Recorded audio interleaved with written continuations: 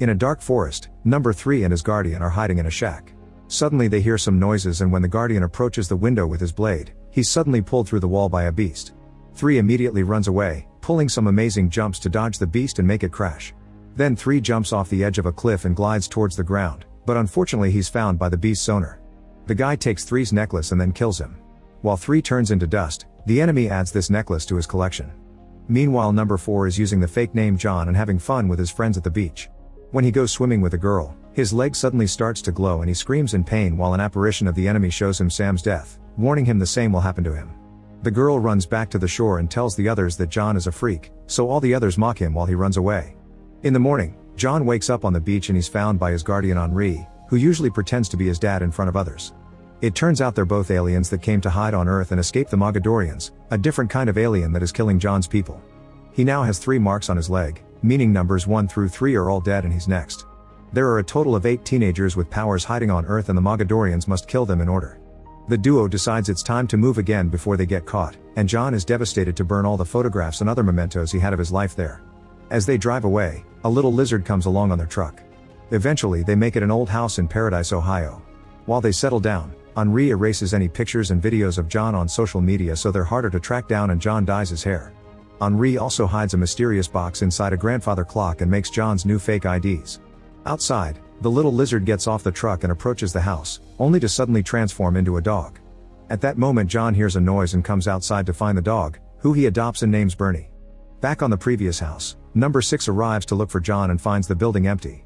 She decides to burn it down and walks away from the explosion without a worry because her power makes her fireproof. Shortly after she leaves, the Mogadorians arrive and find some pieces of the objects burned, which they smell to conclude John is still alive. The next day, John decides to go to school because he's tired of being home all the time. He makes it to the principal's office and while he's waiting for his fake paperwork to be approved, he overhears the principal scolding Sarah for taking photographs of her teachers. Then the secretary asks Sarah to show John around, so John enjoys the company and ignores Henri's calls. When they make it to the lockers, they're approached by Mark and his friends, who tell John he can count on them if he needs anything. However, as they walk away, they show their true faces when they hit Sam and throw away his skateboard. John immediately gives Sam his skateboard back, befriending him in the process.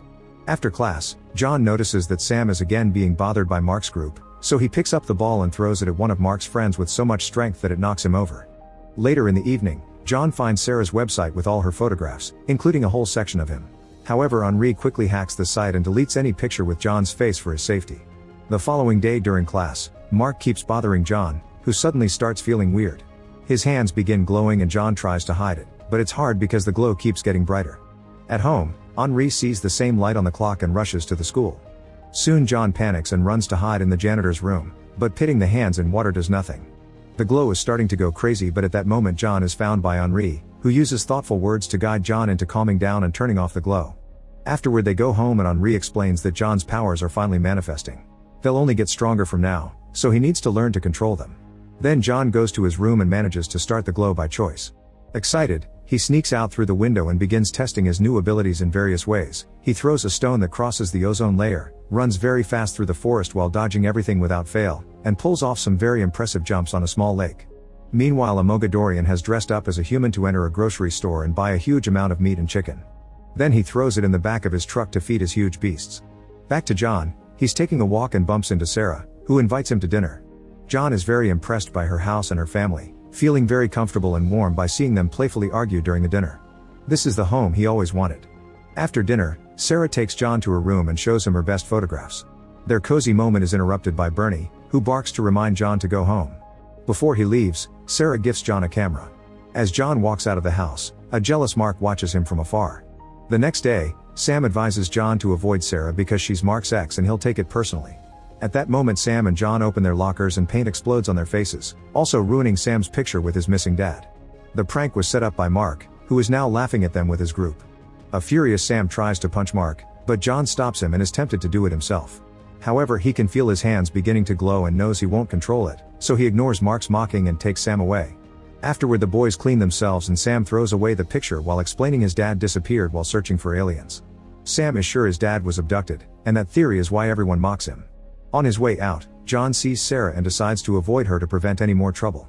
Meanwhile Henri is researching Sam's father on the internet and decides to visit the old factory where the guy disappeared.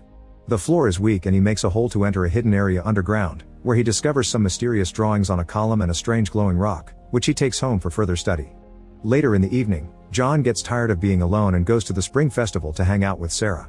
The duo goes on a horror ride, which is noticed by Sam. They have lots of fun with the different jump scares and eventually are dropped on a spooky fake forest, where they're chased by an actor with a chainsaw. Suddenly the duo is attacked by Mark's gang, where Sarah is kidnapped by one of the guys and taken to see Mark.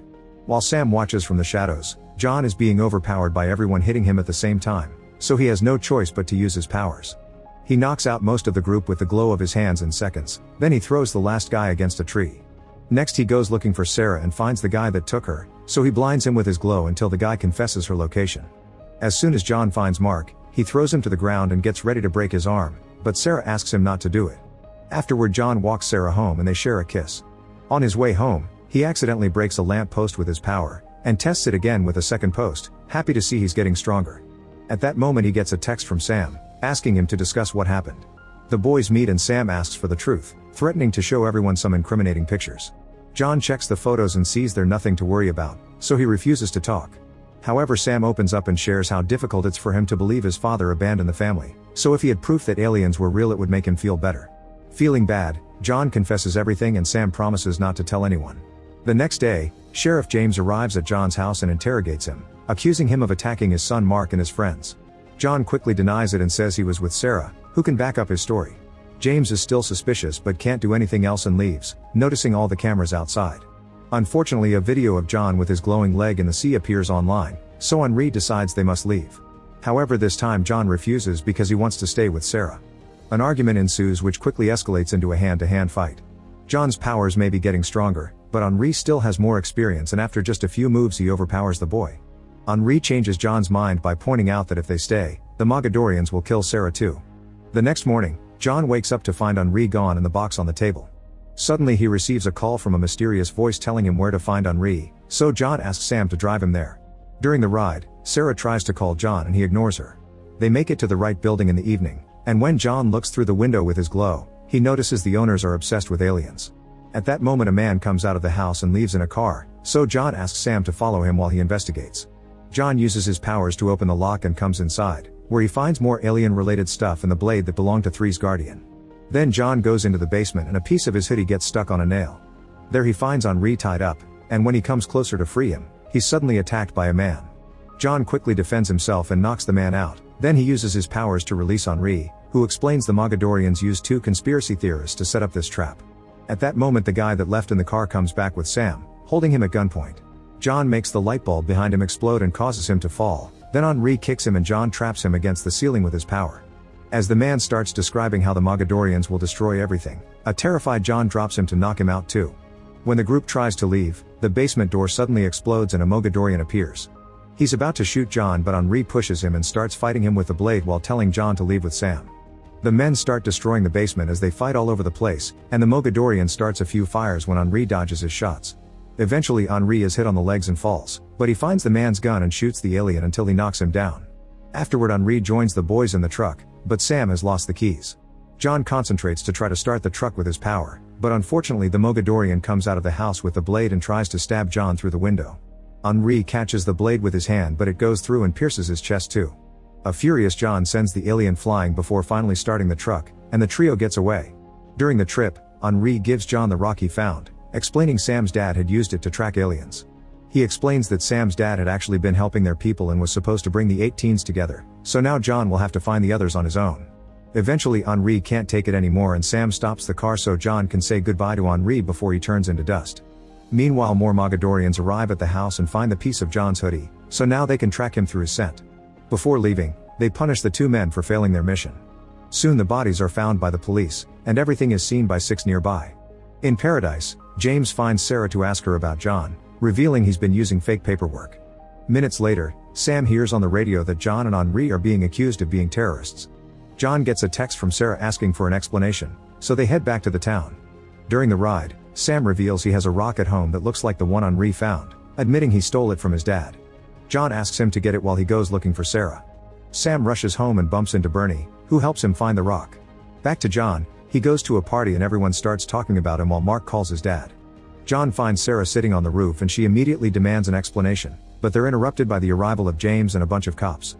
When James tries to get closer, he startles Sarah and causes her to fall, but John makes her float with his powers and then jumps in to catch her. Then they run away, and when the cops try to surround them, John uses his abilities to freeze all the cars. After John and Sarah escape through the forest, Mark gets with his dad in another car and tries to look for them. They find their way blocked by the Mogadorians, who tear off the car door and throw James away. Then they force Mark to tell them how to find John. In the meantime, John and Sarah go to the school so they can develop the pictures John took with Sarah's camera. While he shows her the glowing of his hands, the Mogadorians surround the school, and Sam and Bernie see it when they arrive. Sam calls John to warn him, so he and Sarah try to leave only to find the corridor covered in blood because the janitor is dead. At that moment the lights go out, so John and Sarah hide in a classroom while hearing Mark screaming outside, trying to warn them too. The Mogadorians punish him by throwing him against the window, causing John and Sarah to try to run again. As they approach the door, it suddenly blows up and Six appears just in time to shoot some Mogadorians behind the couple. A gunfight ensues and after dodging a few shots, Six uses her powers to become invisible and jump on the enemy, killing them both with her blade and gun as she moves incredibly fast. Afterward Six finally meets John properly, explaining her guardian is dead too. She also mentions the Mogadorians have all the exits guarded, so Sarah mentions a tunnel under the school that leads to the stadium. Outside, two beasts are released from the alien's truck and Bernie barks at them before he begins to transform into a huge monster as well. Sam manages to sneak into the school and reunites with the others as a beast is thrown through the window. The Mogadorians also find them and open fire on them, so Sam and Sarah run away. John taunts the monster into following him, using his powers to throw tons of lockers at it. Then he smashes its head against the wall and the ceiling but the monster takes no damage and keeps attacking him. At that moment a transformed Bernie comes to the rescue, fighting the monster with equal strength. John uses the chance to go back to Six, who is stuck in a gunfight against the Mogadorians and is hit by a grenade. With his powers, John pushes the attackers away before hiding with Six behind the table. Suddenly she asks him to hit her with his glow because it'll recharge her powers, so John does so and she quickly recovers. Then John goes after the alien that killed Henri, stopping the shots with his abilities before fighting the guy hand to hand while Six attacks the other Mogadorian with her blade. After exchanging lots of hits, Six moves fast to appear above her enemy and kills him with a quick stab. Then she throws the blade at John, who uses it to kill his enemy too and finally get revenge for Henri. Afterward Six explains Bernie as a chimera from their home planet who came to keep an eye on the 18s. Speaking of Bernie, he keeps on fighting the monster, who is causing him quite a number of severe wounds. However when the beast slips and falls, Bernie uses the chance to jump on it and finally kill it.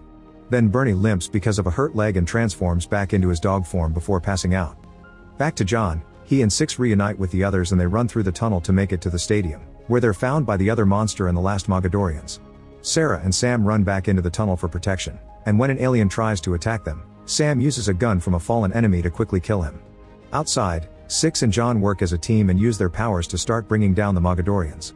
While Six stabs two guys to death, John pushes the other and tries to kill him, but he gets distracted when the monster captures Six. John starts shooting his glow at the creature as it flies around the stadium with Six in its claws, and after a few failed shots, he finally hits the monster, causing it to drop 6. She immediately uses her power to appear on top of the monster's head and finally kills it.